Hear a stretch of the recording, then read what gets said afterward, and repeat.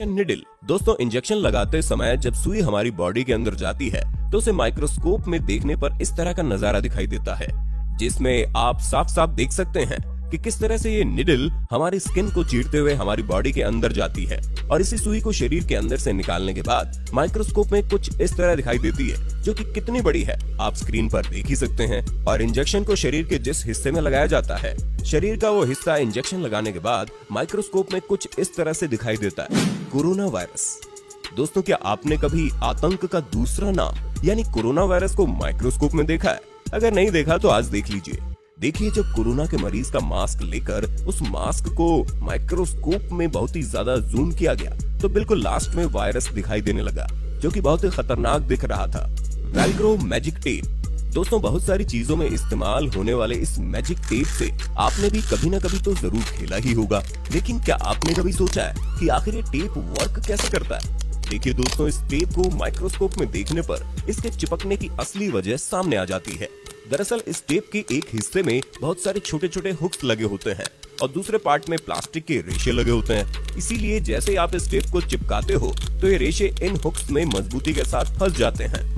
Ball pen दोस्तों, pen हमारी ज़िंदगी का सबसे इम्पोर्टेंट हिस्सा है। लेकिन क्या आपको पता है, ये पेन आखिर वर्क कैसे करती है? देखिए दोस्तों, अगर आप पेन के निचले हिस्से को माइक्रोस्कोप में जूम करके देखोगे तो कुछ इस तरह दिखाई देगा। पैन के नीचे छोटी सी बॉल लगी होती है, और पेन के चलने के साथ साथ ये बॉल भी घूमती है। लेकिन इसका घूमना हमारी नॉर्मल आँखों से नज़र नहीं आता। और जब भी हम पेन से लिखते हैं तो यही बॉल की वजह से पैन का इंक लाइन की शेप में बाहर आता है। फिंगरप्रिंट दोस्तों, क्या आपको पता है, दुनिया में सबके फिंगरप्रिंट अलग अलग कैसे होते हैं? तो चलिए जानते हैं। जब फिंगर को माइक्रोस्कोप के नीचे रख कर जूम किया गया तो बिल्कुल क्लियर दिखाई देने लगा, जिसमें आप साफ़ साफ़ देख सकते हो कि फिंगर की इन लाइंस को, जिनसे पसीना निकलते हुए भी दिख रहा है, इन लाइंस के सभी पॉइंट कितने अलग अलग और अजीब शेप में बने होते हैं। दोस्तों, यही वो पॉइंट होते हैं जो किसी का भी किसी से मैच नहीं होते। इसीलिए सभी के फिंगरप्रिंट अलग अलग होते हैं। ह्यूमन टंग दोस्तों, जीभ हमारे शरीर का इतना इम्पोर्टेंट हिस्सा है कि इसके बगैर ना तो हम बोल पाएँगे, ना ही कोई स्वाद ले पाएँगे। लेकिन क्या आपने कभी अपनी ज़ुबान को माइक्रोस्कोप में देखा है? दोस्तों, हमारी जीप पर बहुत सारे नुकीले कांटे होते हैं। इन कांटों को हम अपनी नॉर्मल आँखों से नहीं देख पाते। लेकिन माइक्रोस्कोप में देखने पर हमारी जीप के नुकीले कांटे बड़े आसानी से दिखाई देते हैं। दोस्तों, ये कांटे इंसानों की ज़ुबान पर तो छोटे छोटे होते हैं, लेकिन जानवरों की ज़ुबान पर ये कांटे बहुत बड़े बड़े होते हैं।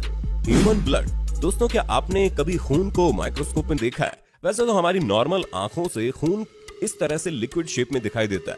लेकिन फिर आप सोच रहे होंगे कि हमें बचपन से खून का स्ट्रक्चर इस तरह से क्यों दिखाया जाता है? क्योंकि दोस्तों, जो हमें दिखाया जाता है, वो माइक्रोस्कोप पिक्चर होता है। अगर आप खून को माइक्रोस्कोप में देखोगे तो खून ऐसा ही दिखाई देगा।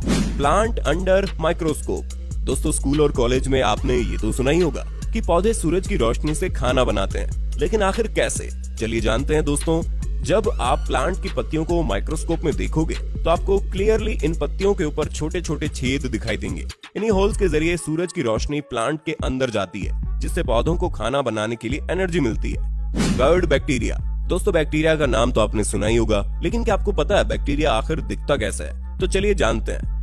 ये आपको पता ही होगा कि दही में बहुत सारे बैक्टीरिया पाए जाते हैं। इसलिए जब दही को माइक्रोस्कोप में देखा गया तो उसमें बहुत सारे छोटे छोटे बैक्टीरिया मूव करते हुए दिखाई दिए। अब आप सोच रहे होंगे, जब दही में इतने सारे बैक्टीरिया होते हैं तो हम दही को खाते क्यों हैं? तो हम आपको बता दें, दही में मौजूद बैक्टीरिया हमारी बॉडी को कोई नुकसान नहीं पहुँचाते।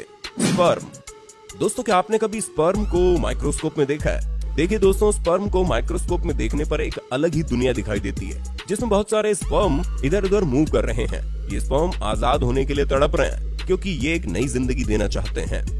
ग्रास इन माइक्रोस्कोप दोस्तों, आपको याद होगा, बचपन में घास को तोड़ने से कभी कभी हमारा हाथ कट जाता था। चलिए, इसकी वजह हम माइक्रोस्कोप में देखते हैं। दोस्तों माइक्रोस्कोप की मदद से हम साफ़ साफ़ देख सकते हैं कि इन घास के किनारों पे कितने खतरनाक कांटे होते हैं, जिन्हें हम अपनी नॉर्मल आँखों से नहीं देख पाते। और इन्हीं कांटों की वजह से हमारा हाथ कट जाता है। रेजर ब्लेड दोस्तों ब्लेड से हमारे बहुत सारे काम होते हैं, जैसे नाखून निकालना शेविंग करना।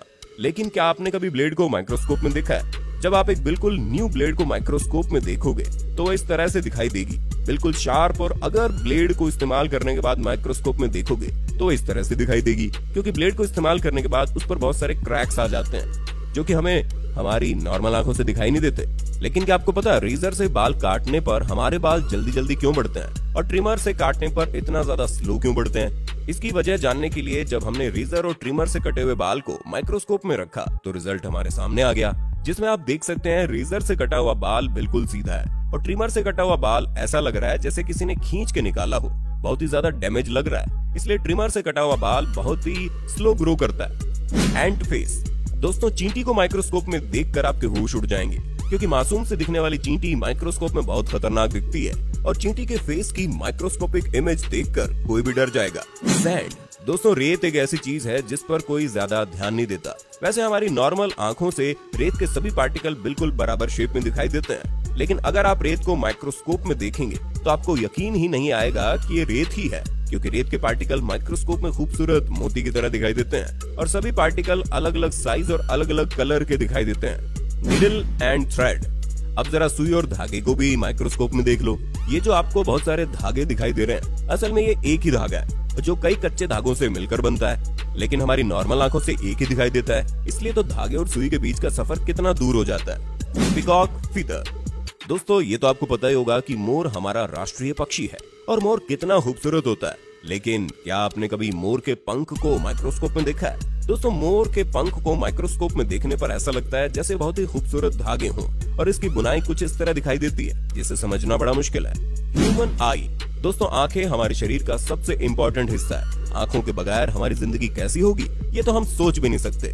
लेकिन क्या आपने कभी आँखों को माइक्रोस्कोप में देखा है? देखिए, आँखों को माइक्रोस्कोप में देखने पर ऐसा लगता है जैसे हम किसी और ही दुनिया में आ गए हों। माइक्रोस्कोप में हमारी आँखों के बीच में एक बहुत ही बड़ा होल दिखाई देता है, लेकिन ये कोई होल नहीं, बल्कि हमारी आँखों के लेंस हैं।